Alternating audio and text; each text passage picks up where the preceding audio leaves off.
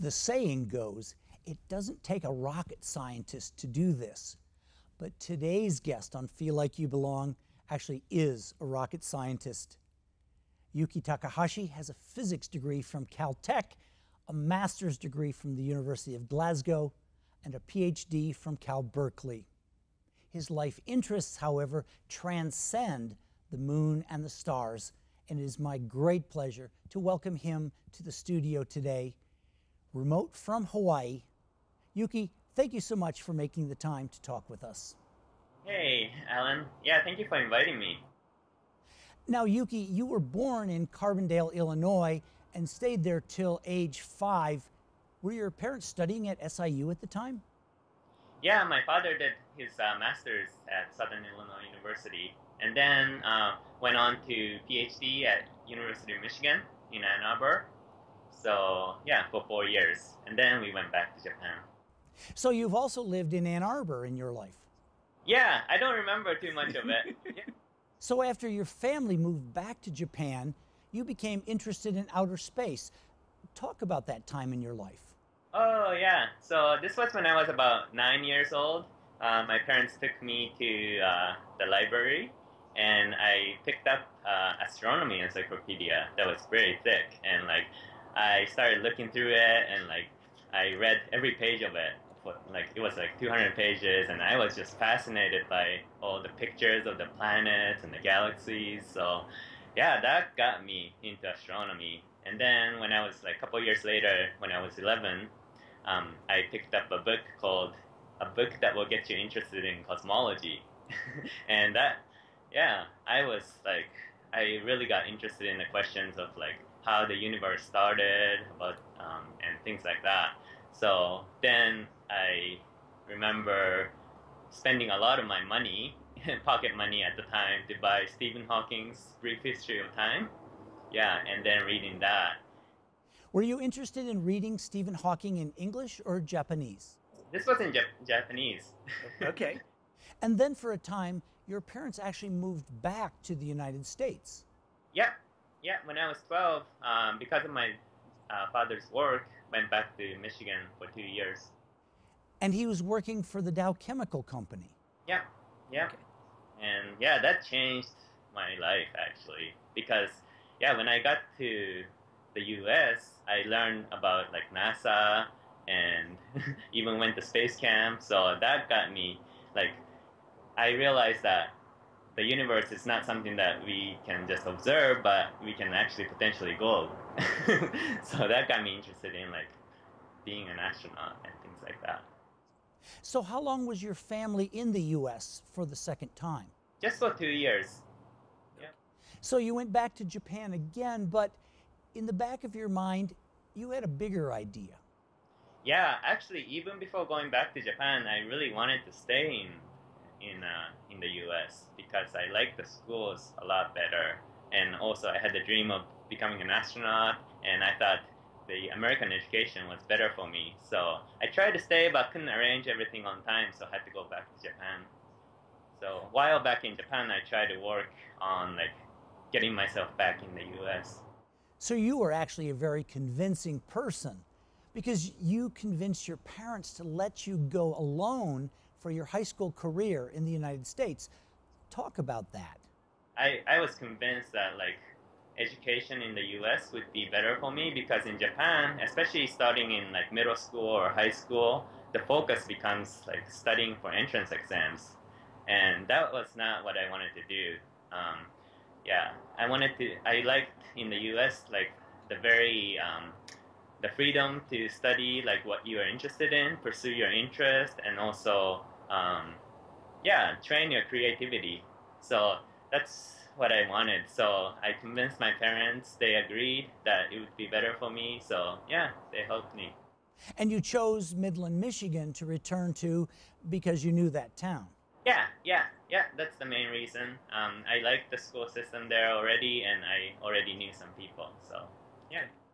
And so you were able to arrange over those last three years three different host families to take you in. Yeah, that was mostly by chance. I mean, the first family uh, we were planning to, I was planning to stay with them uh, the whole time, but then um, at the end of the toward the end of the year, um, we had a grandparent, like a, a 87 year old grandpa, who was becoming very ill, and they were not able to take care of me because um, yeah, so that's why I had to find another family. But yeah, it was really good experience actually, like living with different families.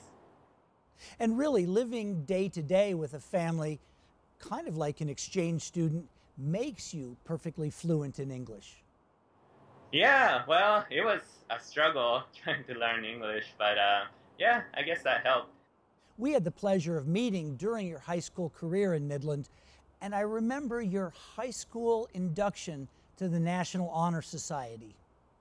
Your personal statement read that you had two goals in life to play tennis on the moon and to enter a black hole. Can you explain that? Man, I didn't even remember that I put that down.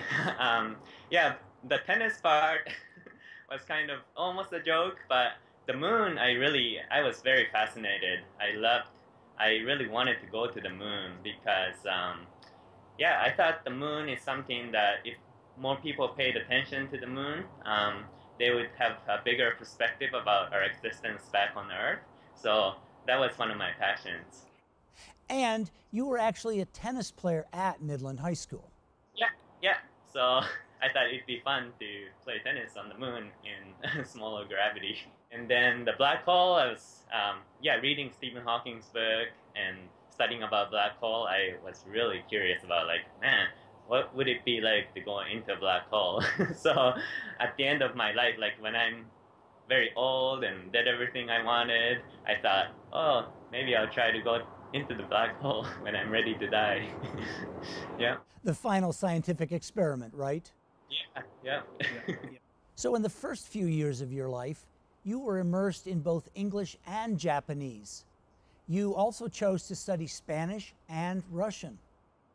Well, Russian was uh, because um, I wanted to become an astronaut and I wanted to be able to work with uh, Russian cosmonauts uh, because I really believed in like uh, international cooperation for space exploration for like more peace and understanding.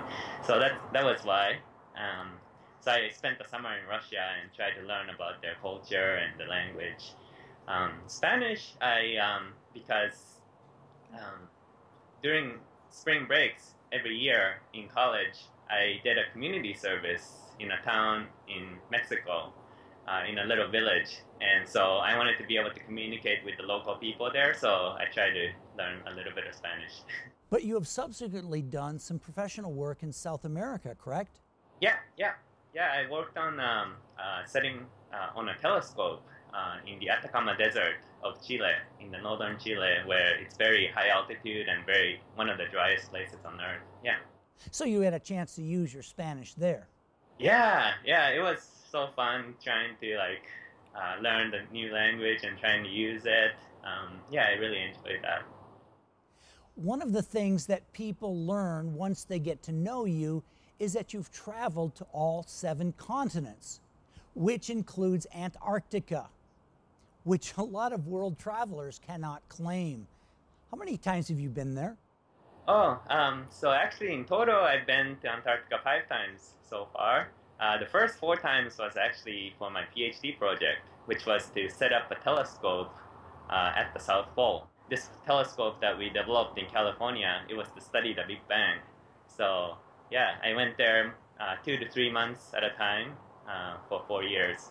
And then um, the fifth time was uh, when I spent the winter at the Palmer Station, which is on the Antarctic Peninsula, and it's much smaller station with about 20 of us winter overs. I was a communications technician responsible for all the communication on station, like satellite for internet and radios for communication around the station.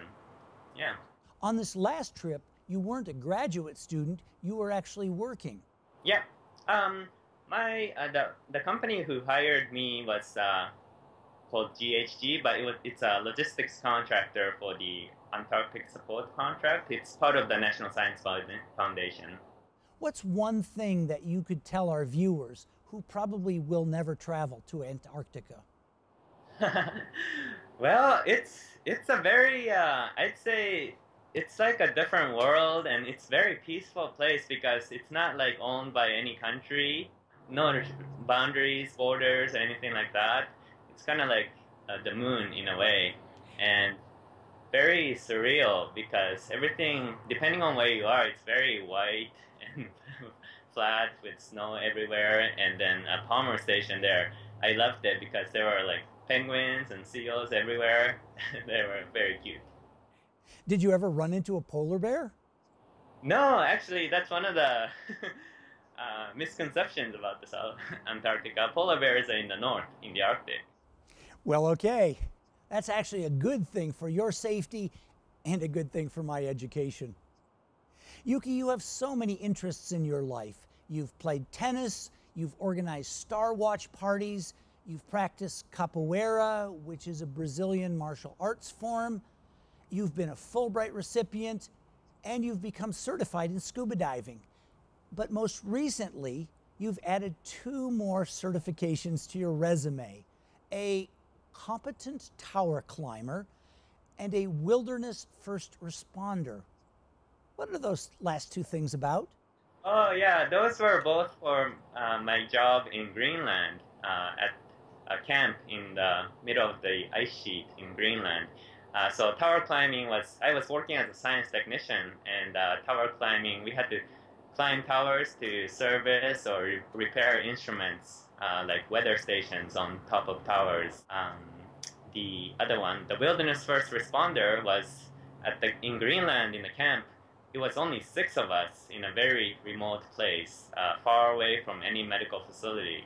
So we had to, some of us had to be trained in to take care of like any like injuries or sickness. So yeah, that's why I did the training for that. So that's really kind of like a wilderness EMS certification? Yeah, yeah. I just hinted at when we began this interview for our viewers, we had to fit this interview in specifically this week while you were in Hawaii and have good internet connection. Because last week you were on the Midway Atoll, and next week you're going back. What are you doing there? Well, there I'm actually volunteering for six months, um, trying to help protect the birds there. Um, there are millions of uh, birds, mostly albatrosses, who have been displaced. Uh, their habitats have been displaced because of humans, mostly in the main Hawaiian islands. And also because Midway used to be a naval airfield. So we're trying to restore their uh, habitat um, with like native plants that they're used to and removing all the invasive species that um, humans introduced there. And also like uh, yeah eradicating like mice pred- predators like mice. And also there are um, a lot of um, endangered birds for example laysan ducks whose population is only about 700 left in the world so we monitor them and we try to every day we try to find if there are any sick ducks, and we, if we find them, we take care of them. Yeah. And under whose auspices? Who are you doing this for? U.S. Fish and Wildlife Service. So you're actually doing some biological work, not physics or astrophysics. Yeah, over the years, I've also become very interested in working with living things. Uh, yeah. Later this fall, you're heading back to Antarctica. What will you be doing there? Well, uh, I will be working as a research, I mean, uh, science technician there, basically at McMurdo Station, uh, supporting experiments and measurements of scientists that cannot be there. So doing various like uh, working on instruments to like study the climate or lightning or um, geology, geophysics, and uh, astronomy even. So yeah, it's kind of like uh, it's kind of like being an astronaut but in Antarctica. Is this program being overseen by NASA? No, actually, this is also National Science Foundation as a U.S. Antarctic program. Connected to NASA, I wanted to ask over recent years, NASA has scaled back, sending far fewer people into space. Where does your own personal dream of spaceflight stand right now? Yeah, well, I've become more interested in uh, private spaceflight.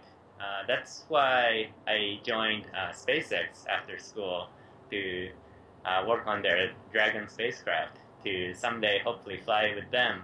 So I left SpaceX for a while to, and now trying to explore this planet Earth as much as possible before going to outer space. So, but someday I hope to ride on like maybe their Dragon spacecraft or maybe with Virgin Galactic and look back at the Earth from outer space.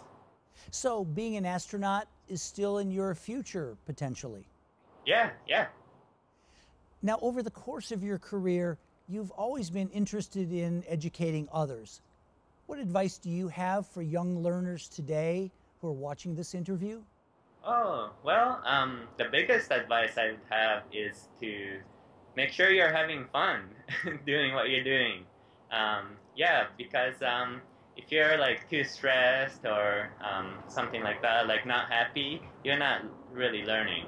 Like whenever you're not feeling, when something doesn't feel right, like I think it's very important to step back and yeah, evaluate like, oh, could I be doing something different or could I be doing something differently or maybe change my attitude about it. So, yeah, that would be my advice. Awesome. So, my final question You were born in the U.S., you've lived or traveled to all the continents. How do you identify? Do you feel American, Japanese? Are you a citizen of the world? Who is Yuki Takahashi? I I don't feel like either American or even Japanese. Um, and I can't quite say yet uh, that I'm a citizen of the world quite yet because I feel like I still have a lot more to explore to really um, understand this world. So I just feel like I am just me. yeah, just a, one human being on this planet. Super. Well, we're going to have to leave it there, Yuki, but truly, it's been such a pleasure talking with you again. Safe travels across the Pacific and the Antarctic. And I just want to say mahalo and keep in touch. Yeah, you too. Keep in touch. Thank you very much.